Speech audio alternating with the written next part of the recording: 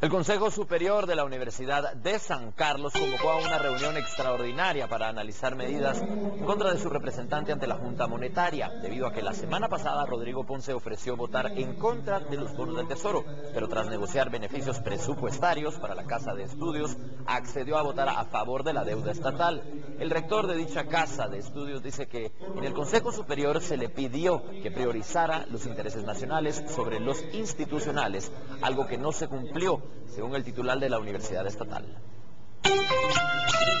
Mayoría de los integrantes del Consejo compartimos con él la opinión de que esta deuda venía a afectar realmente eh, el futuro, incluso de las generaciones que aún no han nacido. Eh, la duda sobre la legalidad de una deuda no reconocida en ningún presupuesto del Estado.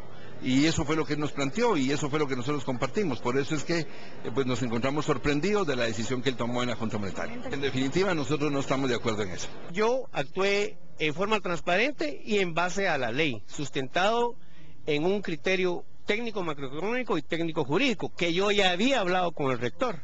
Y tercero, no me aparté de lo que yo conversé con el Consejo Superior Universitario de que iba a mantener mi posición pero que yo iba a tratar de obtener el compromiso de finanzas para el 5% y lo logré. Posición abierta y transparente y a favor de la universidad me ratifican el cargo en lugar de ponerlo en riesgo. La universidad no me está dando la espalda porque primero mi decisión eh, es eh, una decisión técnicamente tomada y yo en ningún momento le fallé a la Universidad de San Carlos ni le fallé al país.